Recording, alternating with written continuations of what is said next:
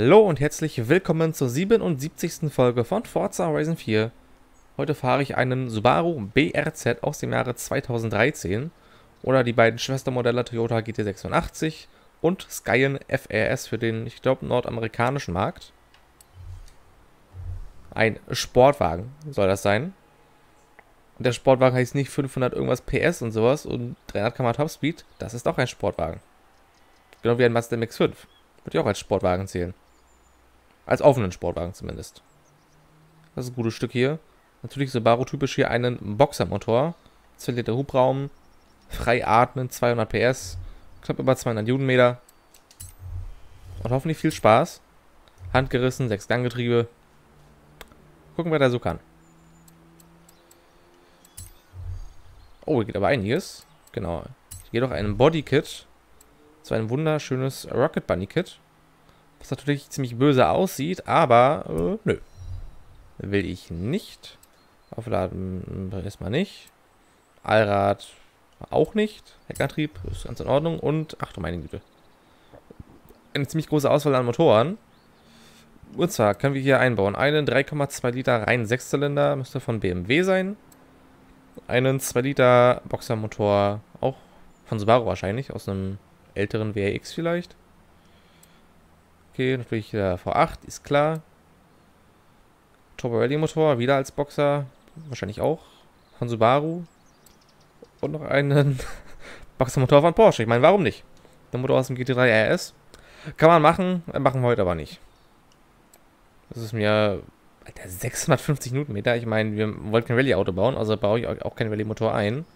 V8 auch nicht. Sechszylinder hatte ich jetzt auch nicht so wirklich Lust drauf. Nehme ich mal hier 2 Liter rein, äh, Boxer Flat 4 Turbo. 207 kW ist, glaube ich, auch gar nicht mal so schlecht von der Leistung her. So.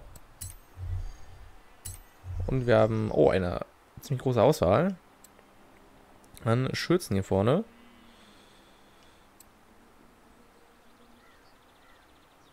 Die auch bis jetzt gar nicht mal so schlecht aussehen. Okay, das sieht... Sieht ein bisschen Mazda-mäßig aus, finde ich.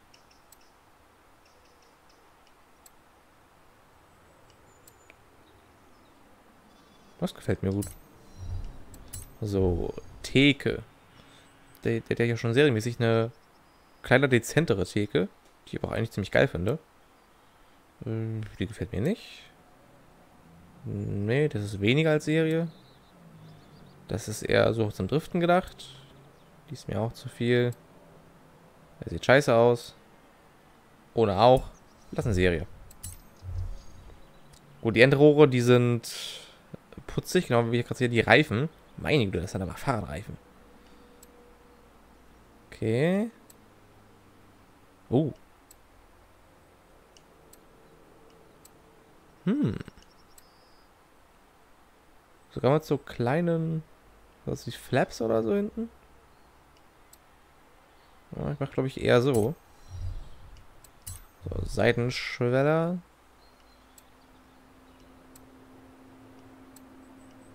Okay, die sehen alle relativ ähnlich aus. Dann nehmen wir mal...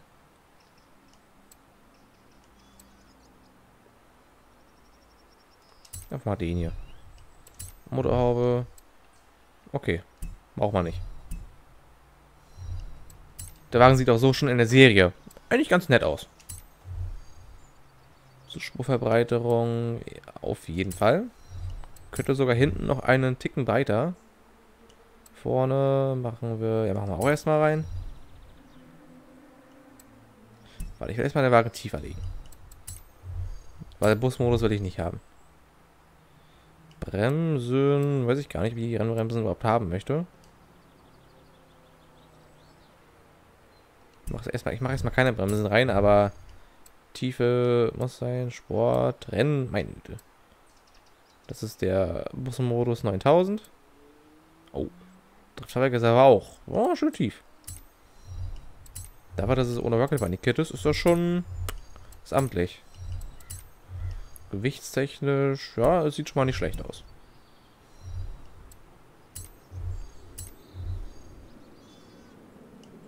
Eine dicke Kupplung rein und ein Renngetriebe.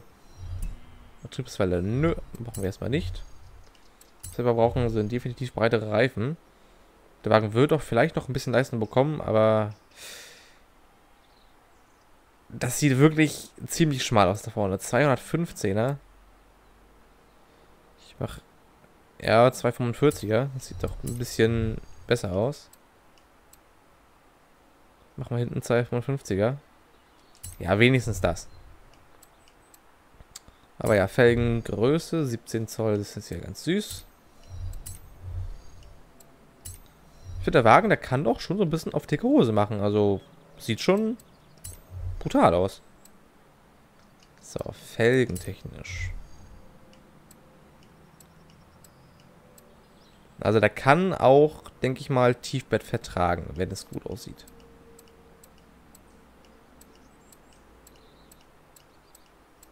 Da können schon sehr spezielle Felgen rauf.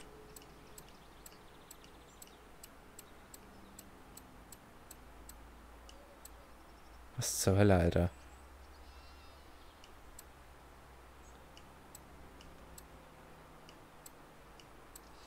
Ich habe auch schon vielleicht Felgen im Kopf, wo ich mir denken könnte, dass sie gut aussehen.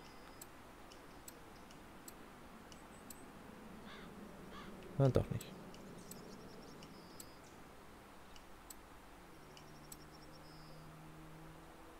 Heilige. Nee, gibt's keine guten, aber ich denke, hier werde ich fündig.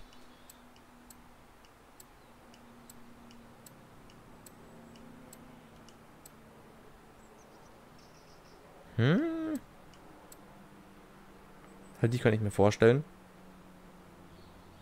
Der geht auch schön weit nach innen. Hm. Mal gucken. Da laufen auch beide. Mal zur Sicherheit gucken. Oh. Irgendwie mag ich die. Die hatte ich auch mal in Horizon 3 auf dem F40 drauf. Ferrari F40. Da haben mir einige auch geschrieben, dass sie die Dings nicht so geil finden, oder mir gesagt, oder auch Kumpels, dass sie den gesehen haben, äh, sieht kacke aus, Fabian dachte mir so, Alter, das sieht doch voll geil aus. Wo ist euer scheiß Problem?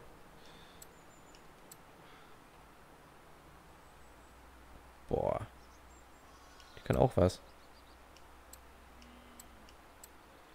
Das Licht kommt gerade ein bisschen blöd. Ich guck mal na, von der Seite vielleicht.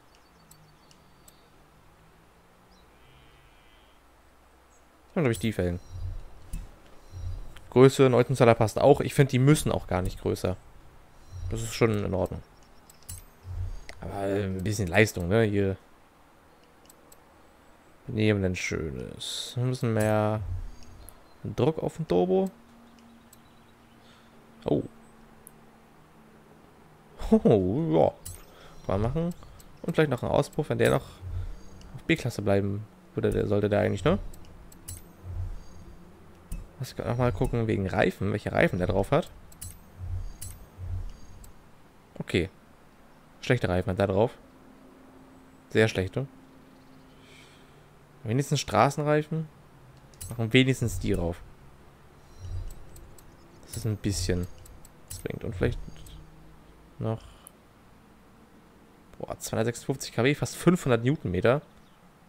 Auf 1, ja gut, gerundet wären es 1,3 Tonnen. Aber unter 1,3 Tonnen. Das ist schon. Das ist verdammt Gut.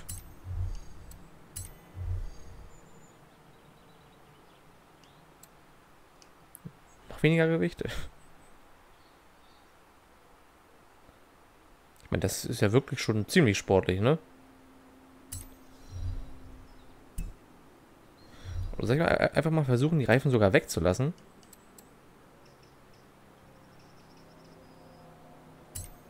Oder halt noch äh, die Leistung wieder rauszunehmen. Jetzt hat er so um die 360, 370 PS. Das ist schon verdammt viel. Ich nehme mal Leistung raus hier. Aber dafür andere Teile rein.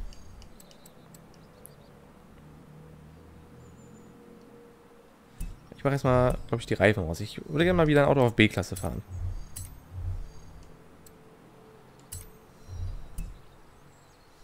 Denke mal, die Reifen sollten vielleicht auch für die Leistung reichen.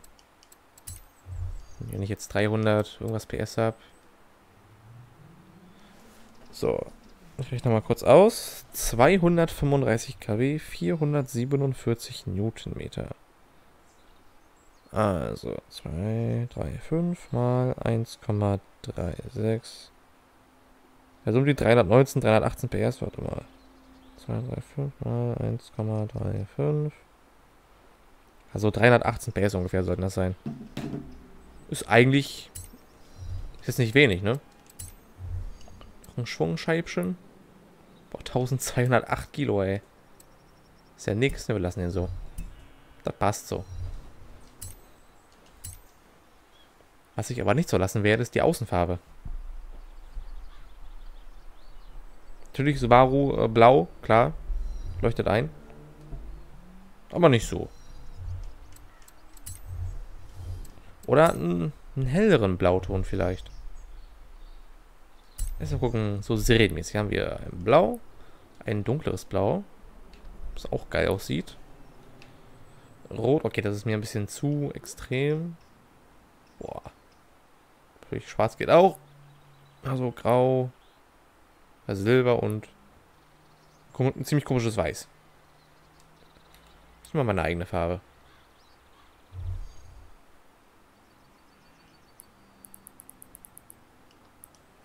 Orange vielleicht? Mal. Nicht ein helles Orange?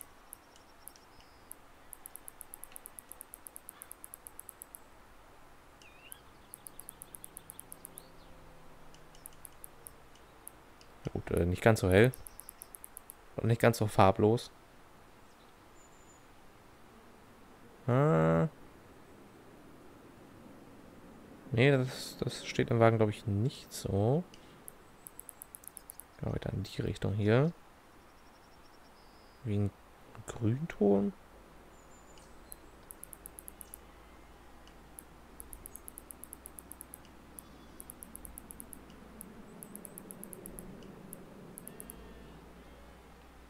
Ich denke, ein helles Blau würde schon ganz gut aussehen. Mache ich als oh, lila vielleicht. Hm. Obwohl...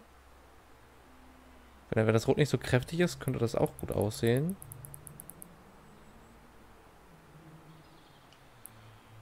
So.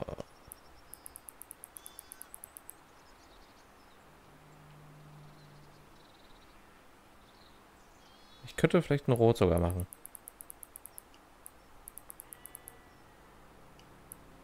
Mal Vollkran auf 1.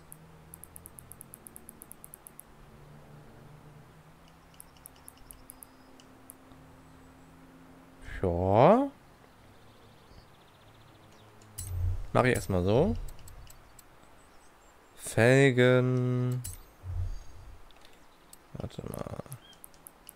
Okay, das wäre das. Innenseite schätze ich mal der Rand da. Hier sieht man nicht wirklich.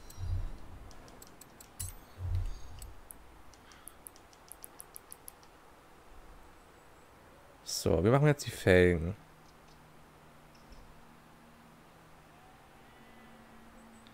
Ich würde sogar vielleicht die Farbgruppe 1, also hier die Speichen würde ich sogar so lassen. Nur das Felgenrohr, also den Rand da nehmen.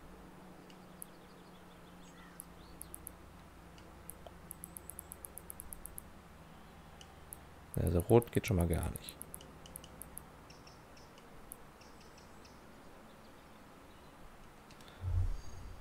Ich probiere mal irgendein Orange. Und wenig Farbe. Ja, ein bisschen mehr kann schon.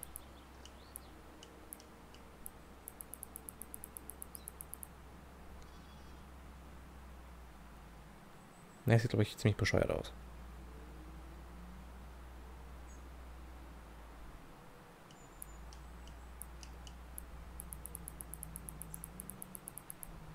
Mit weißem Rand? Kann man das so machen? Ich mache es einfach mal.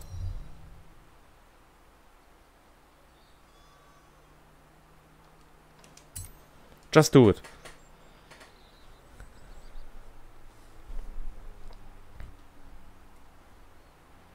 Ich denke, der Wagen sieht so ganz gut aus.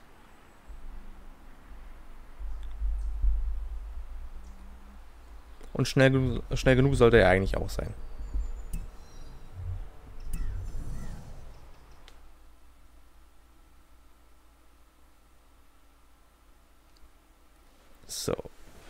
Deutlich langsamer als die Autos aus den letzten Folgen, aber immer noch äh, vielleicht zu meinem Auto schnell. Ja gut. Vielleicht zu meinem Auto sind wohl 99% aller Autos im Spiel schnell. So, das Rot, das gefällt mir. Ah, den weißen Felgenrand. Ich weiß nicht. Ich weiß nicht. Boah, Sound finde ich geil.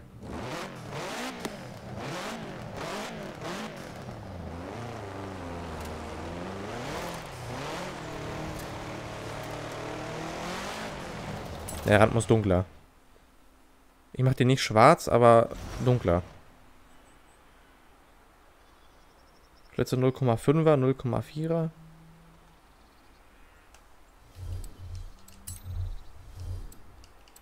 Halt, stopp. So.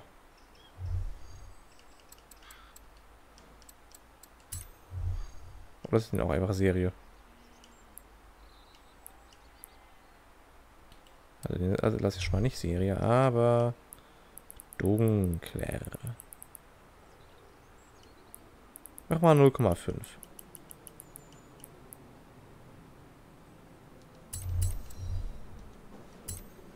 Die Felgen selber, die sehen gut aus. Die sehen richtig geil aus. Holzenzeiler passen auch. 20 wäre, glaube ich, sogar zu groß. Für so ein Auto. Ist jetzt auch kein Riesenteil, ne? Das ist kein 5 oder 5,5 Meter Schiff. Das ist noch ein eher kleines Auto.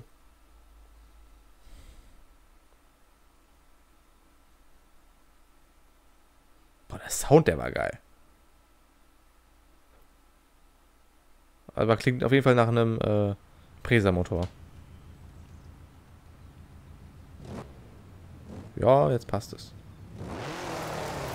Eieiei. Eieiei. Mein.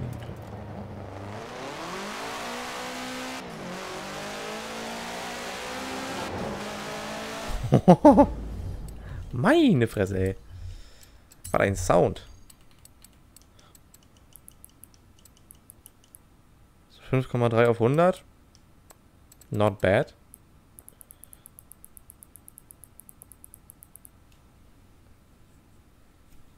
Jetzt schafft er ja bestimmt. Ich hab's gar nicht gesehen. 270, 280? Könnte er schon schaffen, ne? Wenn man den Pinsel mal richtig durchdrückt.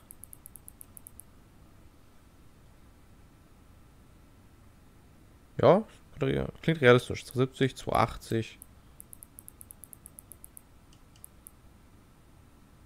Ich würde sogar eher sagen 280. Das sehe ich ja gleich.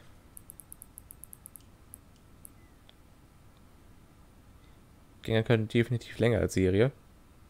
Oh ja, wir fahren in letzter Line schon im... Oh, oh, oh, oh, oh. 285 vielleicht sogar? Was? Ach du Heilige. 294 Klamotten. Dem Eimer.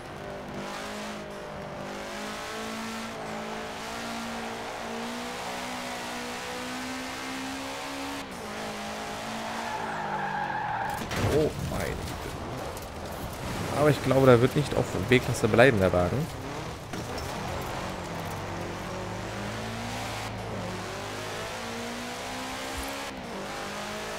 Ich sehe nämlich nach neuen Reifen.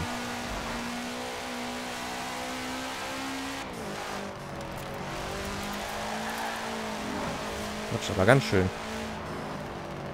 Vielleicht sogar Sportreifen.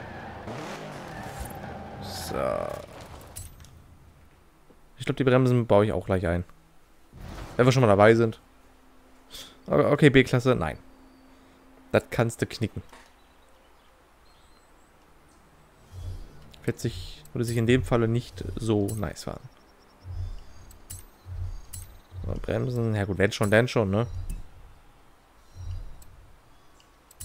Und ja, reifentechnisch. Ich würde sogar vielleicht sagen, gleich Sportreifen. Da haben wir zwar ordentlich Punkte, aber naja. Der fährt er sich wohl deutlich besser.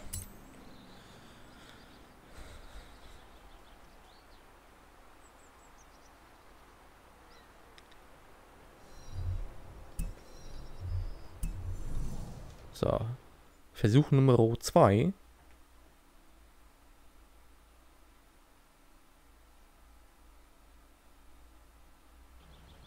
So, mal gucken.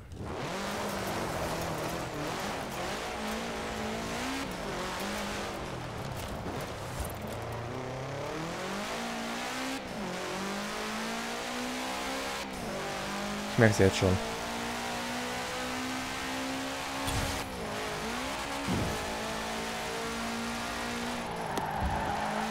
Fällt sich schon deutlich angenehmer.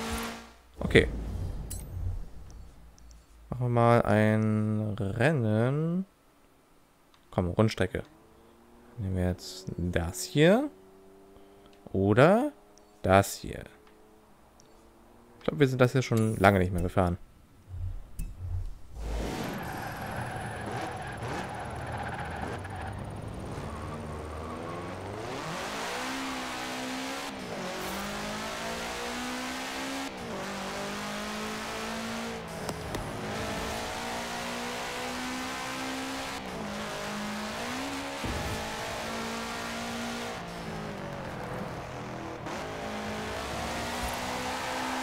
Quer kann er auch noch ein bisschen.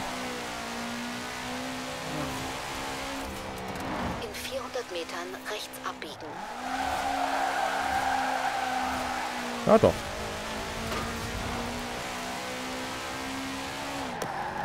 Rechts abbiegen.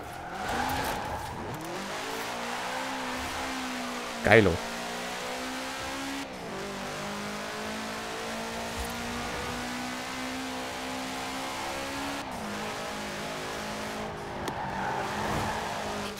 In 400 Metern scharf links abbiegen.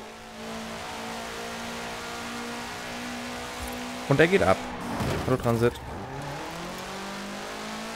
Scharf links abbiegen.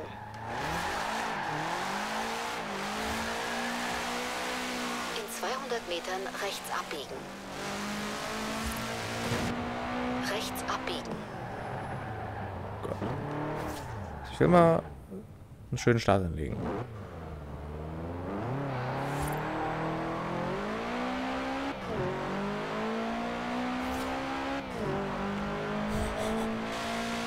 Okay, erster Gang, ja, ist zum Anfahren. Der Grip ist da eher nicht so.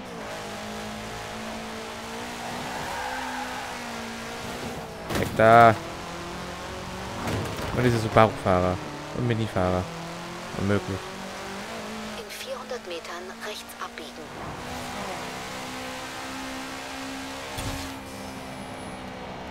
Rechts abbiegen. Verspucken kann er auch. In 200 Metern scharf links abbiegen. Scharf links abbiegen. Das war zu viel.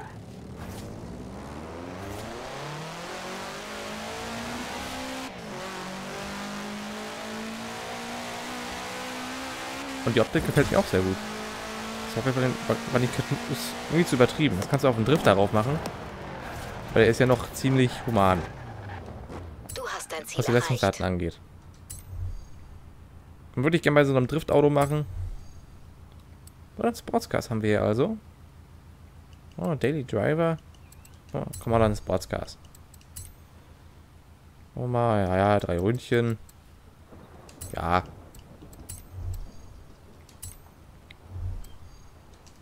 Bei so einem 700 PS Driftauto kannst du auch gerne den dicken Spoiler aufmachen.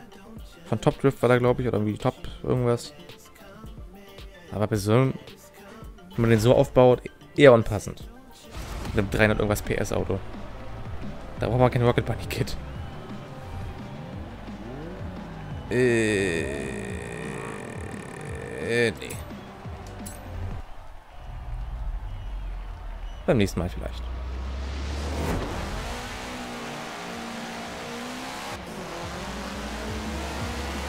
GTs. Sagen wir Race Mode. Ist verdammt gut, leider.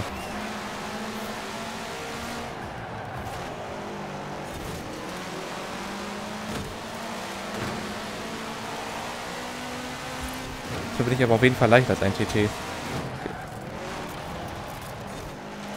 Das weiß ich.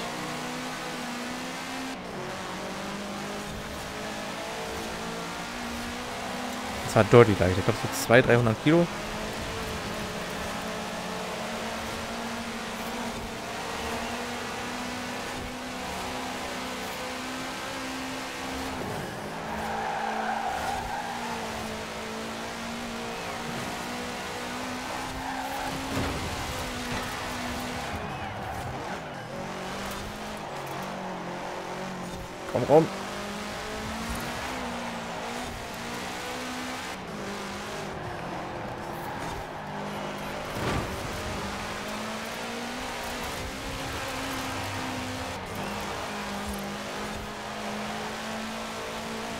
Noch relativ große Grip-Probleme.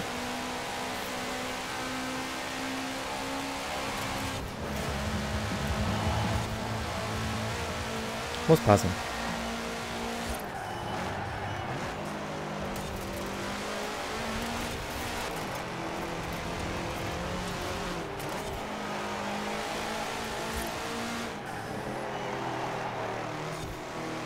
Mit dem zweiten bleiben. Okay, selbst im dritten, Alter. Er noch quer?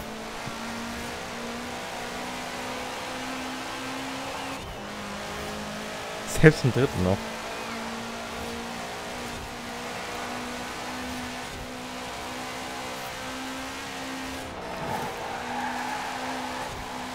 Ah, schon besser.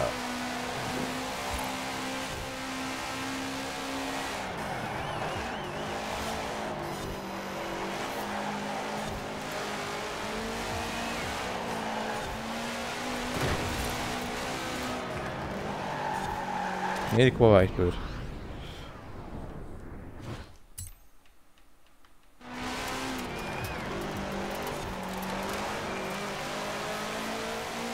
So, vierter Platz. Ist noch Podium drin. Alter. Kurve bei etwas schnelleren Kurven nicht so gut.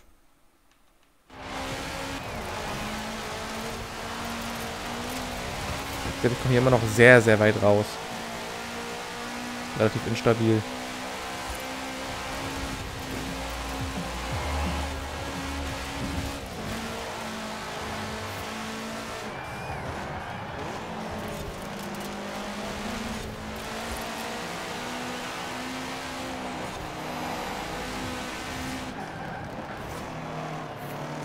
Was war denn hier vorne? Ist das ein Morgen? Ja, Aero Supersports oder so, wie der heißt.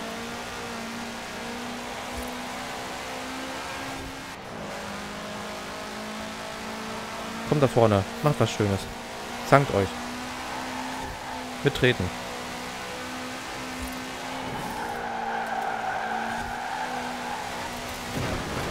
Natürlich. Die imaginäre Kante. Fast 200 auf 0 in einer Sekunde. Ich will die Kurve gerne so wie letzte Runde anfahren.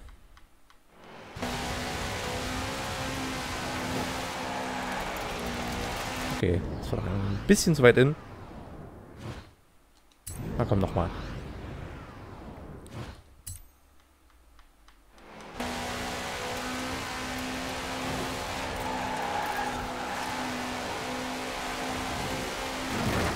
Nein.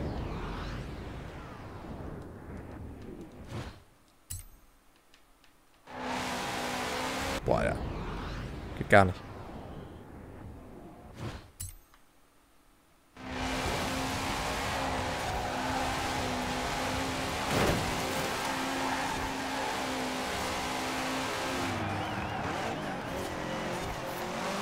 Kriege ich jetzt noch den Morgen? Ich glaube, es ist ja morgen. Will ich ja gleich sehen.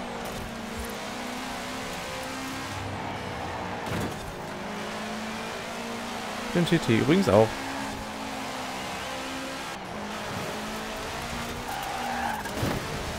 Okay, das war meine Theke.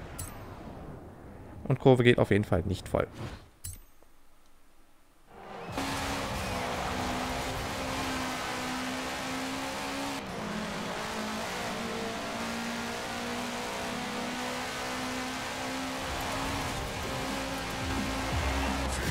Gewonnen. Zum Glück. Okay, war morgen... Ach ja, morgen Aero. Genau, und natürlich MX-5 ist hier noch bei. Auch ein sehr, sehr geiles Teil. Rundenzeit meine, die war... Äh, ja... Im Gegensatz zur KI war es die beste, aber trotzdem war sie nicht gut. Der Wagen sieht geil aus. Meine Güte. Ist schon böse.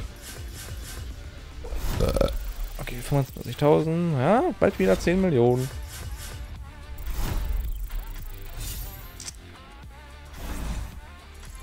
Aber leider keinen Real Spin. Schade.